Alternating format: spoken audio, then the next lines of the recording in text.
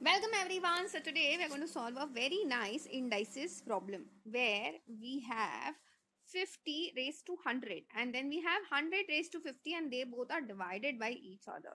So when what do you do in these kind of scenarios? Okay.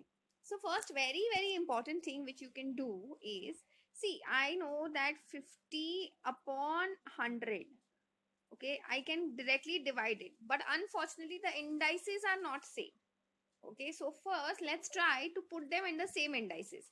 Now here 50 raised to 100 can also be written as 50 raised to 50 into 2. Correct? And 100 can be written as what? 50 into 2. Now, very important thing. A raised to m into n can be written as a raised to m the whole raised to n so similarly, I can write this as nothing but what 50 raised to 50, the whole raised to 2.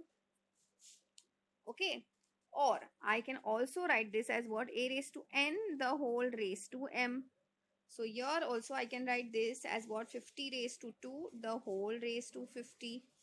Now what happens in that case is I'm still dividing it with what 100 raised to 50 now see, when the indices are same, a raised to m upon b raised to n, m, I can directly write this as what? A upon b, the whole raised to m. So similarly, I can write this as what? 50 square can be written as what? 50 into 50 upon 100. Everything is now raised to what? 50. And now if you see things are cancelling. 50 ones are and twos are and 2 ones are and 25s are. So answer or the simplified form of this indices is what? 25 raised to 50. Okay. You can even write this as nothing but what? 5 square the whole raised to 50. Instead of 25, I can write this as 5 square the whole raised to 50.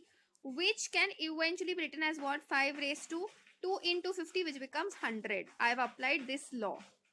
Okay. So we can say either the simplified form is this or this. It depends on what options they have given us. Okay. So that's it for today. I will see you in the next video.